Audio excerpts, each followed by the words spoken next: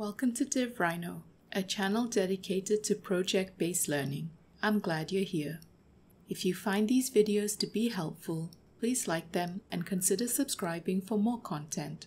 And if you've already subscribed, I appreciate you doing so. In this tutorial, we will learn how to build an interactive command line app with Go, Cobra, and Prompt UI. We will see how we can prompt the user for input data and persist this data to an SQLite database. To follow along, you will need to have Go and the Cobra generator installed. Let's change into our sites folder to get started. Then we can make a project directory called StudyBuddy and immediately change into it. We will initialize this as a Cobra project using the Cobra generator and passing in a package name. Remember, this package name is usually the location your project can be downloaded from, so please feel free to substitute your own URL for this step. Using the same package name, we will also initialize Go modules to handle our dependencies. Then we can run go mod tidy to add our module requirements and checksums. When we open our project inside our text editor, we will see that the Cobra generator has created files to help us get going. Let's open up our root command and change the descriptions. We can set different content for our short and long descriptions. We can go ahead and build our app to test it out. If the build was successful, a binary should appear in our project folder. We can now run our binary relative to our project folder, and our long description prints in the terminal. Next up, we can start setting up our database. We begin the process by creating a data directory and a data.go file within it. Let's also install the Go SQLite package. Then inside our data.go file, we can indicate that it is part of a package we will call data.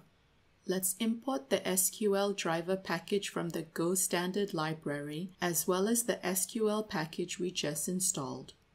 We will set up a package level variable to hold our database instance.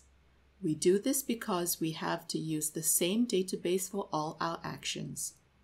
Now we can create a function that will open a database connection pool. This function will have an error as its only return value. Inside the body of the open database function, we will declare an error variable. We don't use the short variable declaration syntax here because we want to be able to assign to the package level db variable we declared earlier. Then we will use the SQL open method passing to it our driver name as well as the location of our database. The SQL open method returns a database instance and an error. So let's do some quick error handling before we move on. If we hit an error, we just return it. Lastly, we will return whatever we get back when we ping the database connection. Now we can use our newly created open database function from within our main.go file. Let's import our data package. Then we can open the database connection inside the body of func main.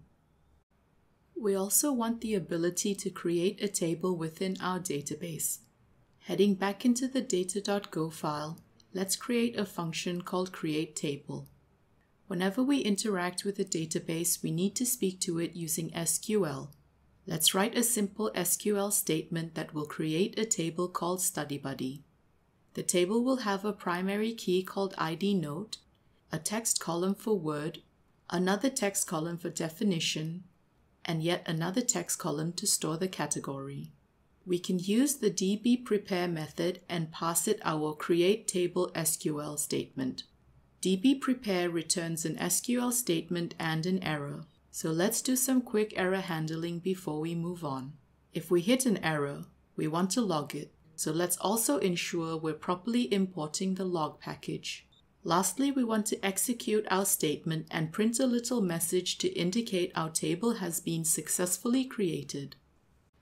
Now let's create a command to initialize our app. We can do this by running the Cobra add command in the terminal. Let's quickly update the descriptions for our new init command. We don't want to spend a lot of time thinking of what to write, so we can just use the same text for both the short and long descriptions. We want to use this init command to trigger the create table function. So let's import our data package so we can access the create table function from it. If we build our app now, we can run our newly created init command. A new database table was successfully created, so an SQLite database file is now present in our project directory. We've made it to our first milestone and you're doing great. Now let's keep going. In this next section, we will start building out some features that will allow us to create notes. We can add a new Cobra command called note. And you guessed it, the first thing we have to do is update the command descriptions. We haven't done anything significant here yet, but let's build our app to see what we've got so far. If we run our note command now, we see that it behaves exactly how you'd expect a command to behave. It executes whatever is in the run function. That's not actually what we want. We don't want this command to have any actions of its own. We just needed to act as a base for the other subcommands we will create later. We can achieve this by simply removing the run function. I guess we can also remove these comments while we're here. Now if we build our app and test it again, we get the command description instead. With our base command done, we can start creating our very first subcommand using Cobra New. You may notice this command is slightly different from the other commands we've implemented thus far. If we open up the new.go file, we will see that the new subcommand was added to Note. But if we look inside the note.go file, we will see that it was added to root. So we can say that new is a subcommand of Note. Getting back to the task at hand, let's update the descriptions of the Note New command. And let's also go ahead and install the Prompt UI package so we can start adding interactivity to our app. Let's also import it into our new.go file. And I guess we can clean our comments while we're here. Every prompt has a similar shape so we can capture this in a prompt content struct type. Before we dive into prompts a bit more, let's take a detour and visit the Prompt UI documentation. Prompt UI has two main input modes, prompt and select. We will implement both of them in our app. Let's first tackle the prompt input mode. We will create a new function called prompt get input. It will take prompt content as its only argument and it'll return the user's answer as a string. There are three key components for the prompt input mode, a validate function, templates, and a prompt. Our validate function will be simple. We just want to ensure the input is not empty. If the length of the input is less than or equal to zero, we will return the error message from the prompt content we passed in. Since we're using errors, let's make sure we're importing the errors package from the Go standard library. Let's also import other necessary packages while we're at it. The next key component is the template. We can use template strings to style the different states of the prompt. The last key component is the prompt. Here we combine the templates and the validate function to determine the behavior of our input prompt. Now that all the config is done, we can run our prompt. The run method returns a result from the user and an error. So let's do some quick error handling before we move on. If we hit an error, we will let the user know that the prompt has failed, then we will exit. If the prompt successfully captures user input in the result variable, we will just print it back and return it. We've just created our first prompt. Now we need to create a function that constructs our notes. A note consists of a word, a definition, and a category. Let's set up a new prompt content struct for our word. Then let's capture the word as an input from the user. We can use our prompt get input function to do this. Let's also set up a new prompt content struct for our definition. Then let's capture the definition as input from the user. If we recall, a note should consist of a word, a definition, and a category. We will create a different prompt function to capture the category, so let's create that now. This time we will make use of the select input mode from prompt UI. It will take prompt content as its only argument and it'll return the user's answer as a string. Because we are using the select input mode, we need to give the user some items to select from. We will set the initial index to negative 1. We do this because negative 1 does not exist as an index in the item slice. This keeps the prompt open until the user selects an item with a valid index. Let's also declare variables for our result and error. As long as the index value is less than 0, we want the prompt to remain open. Here we are using select with add. This means we're giving the user the ability to add their own options to the item slice. When we run our prompt, it'll return an index, a result, and an error. If our index value is equal to negative 1, we will append the option to the item slice. Let's remember to do some quick error handling before we move on. If we encounter an error, we will let the user know the prompt has failed, then we will exit. If the prompt successfully captures user input in the result variable, we will just print it back and return it.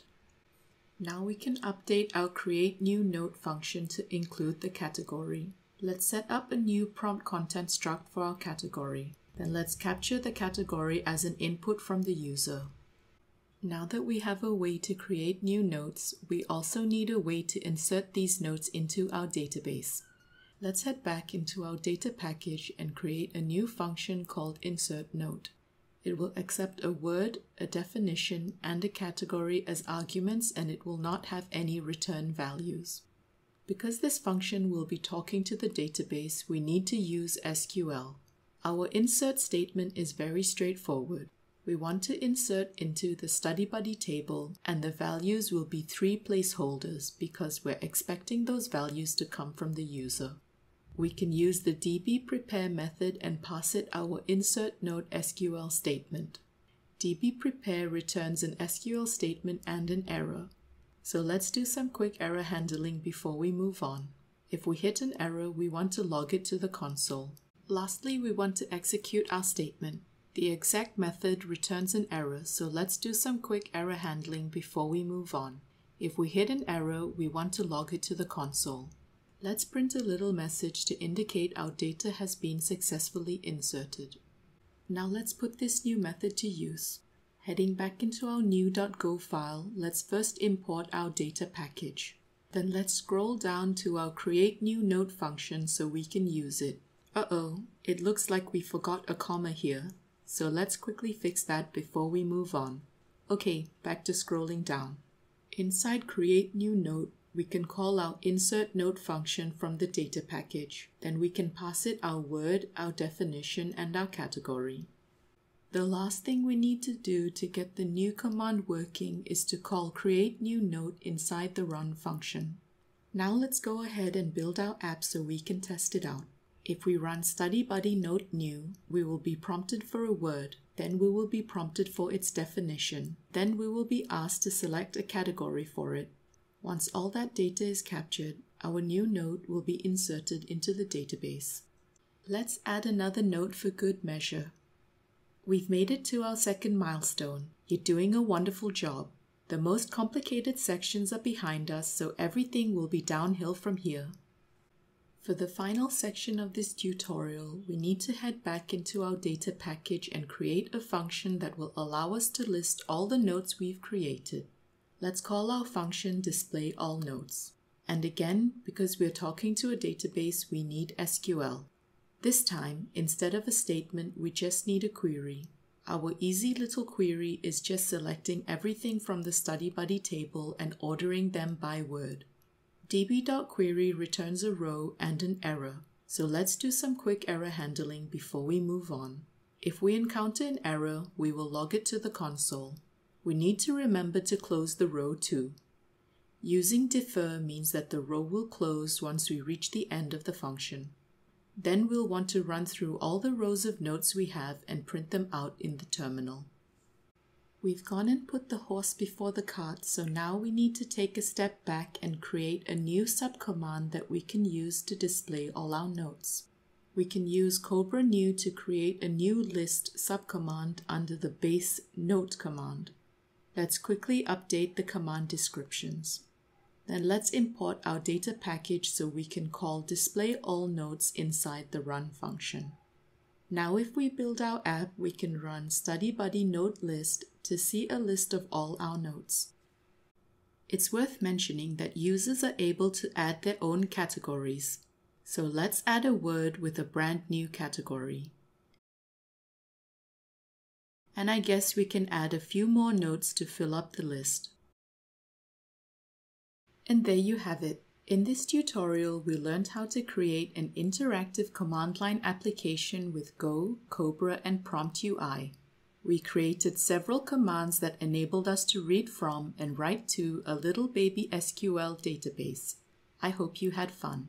A text version of this tutorial can be found on divrhino.com and a repo can be found on my GitHub account. I'll leave both links in the description for this video. If you enjoyed this tutorial, please let me know in the comments below. And if you'd like to build more projects like this, please like the video and subscribe to my channel. Thank you for watching.